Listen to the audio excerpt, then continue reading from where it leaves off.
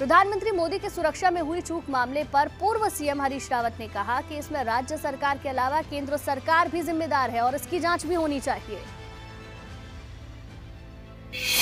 एक चूक तो है, मगर वो चूक केवल राज्य सरकार के स्तर पर नहीं है, केंद्र सरकार की सुरक्षा एजेंसियों के स्तर पर भी है और उस बात की गहराई से छानबीन वहीं पंजाब में प्रधानमंत्री मोदी के काफिले के रास्ते में हुई चूक के मामले को लेकर भाजपा कार्यकर्ताओं ने प्रदर्शन किया। उत्तराखंड में तीन अलग अलग जगह की तस्वीरें अब आप देख रहे हैं। देहरादून, रामनगर और कोटद्वार में भाजपा कार्यकर्ताओं ने प्रदर्शन किया है। तीनों ही तस्वीर अलग अलग जगह की है, लेकिन लगभग एक ही जैसी नज़र आएँगी, क्योंकि ये भाजपा कार्यकर्ता हैं जो तस्वीरों में आपको नज़र आएँगे। कल प्रधानमंत्री के सुरक्षा में जो चूक हुई, उसको लेकर जिस तरीके से नाराज़गी है, गुस्सा है भाजपा कार्यकर्ताओं के अंदर वो इन तस्वीरों में नज़र आ रहा है।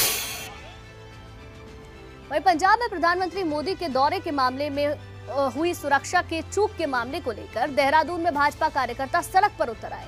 भाजपा कार्यकर्ताओं ने कांग्रेस के प्रदेश कार्यालय पर पहुंचकर प्रदर्शन किया, मगर पुलिस ने उन्हें कुछ दूर पहले ही रोक लिया। इस दौरान भाजपा कार्यकर्ता हंगामा करने लगे। भाजपा कार्यकर्ताओं के हंगामे के दौरान कांग्रेस कार्यकर्ता भी आग बबूला हो गए और हंगामा करने लगे, जिस वजह से भाजपा और कांग्रेस कार्यकर्ताओं में झड़प हो गई।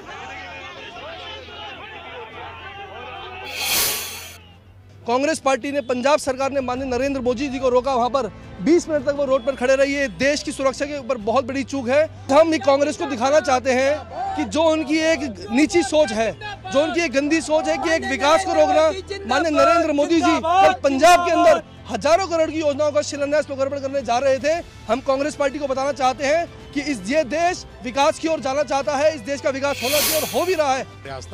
जिसे हमारे कांग्रेस सभी साथियों ने विफल किया, क्योंकि प्रशासनिक अमले के संरक्षण के अंदर भारतीय जनता पार्टी के कार्यकर्ता कांग्रेस मुख्यालय तक आए उधर रामनगर में भी भाजपा कार्यकर्ताओं ने प्रदर्शन किया और पंजाब सरकार का पुतला जलाया। भाजपा कार्यकर्ताओं की मांग है कि पंजाब के मुख्यमंत्री को इस्तीफा दे देना चाहिए। देखिए अलग अलग जगह पर इस तरीके से प्रदर्शन किया जा रहा है। कहीं पर मुर्दाबाद के नारे लग रहे हैं तो कहीं पर पुतला फूका जा रहा है।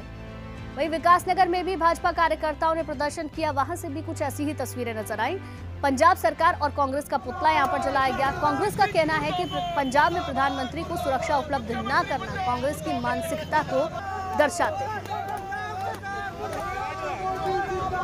तो देखिए, तस्वीरें आपको दिखा रहे हैं किस तरीके से यहाँ पर पुतला दहन किया जा रहा है अपना विरोध जताया जा रहा है।